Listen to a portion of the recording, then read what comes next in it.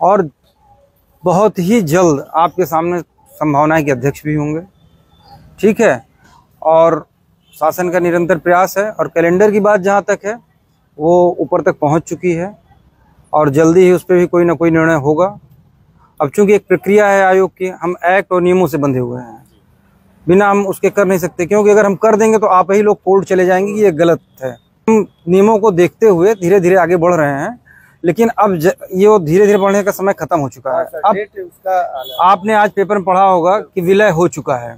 क्योंकि दोनों आयोग का मर्जर हो गया। अगर शासन गंभीर ना होता तो मर्जर क्यों करता? भाई शासन गंभीर है तभी तो मर्जर किया उसने।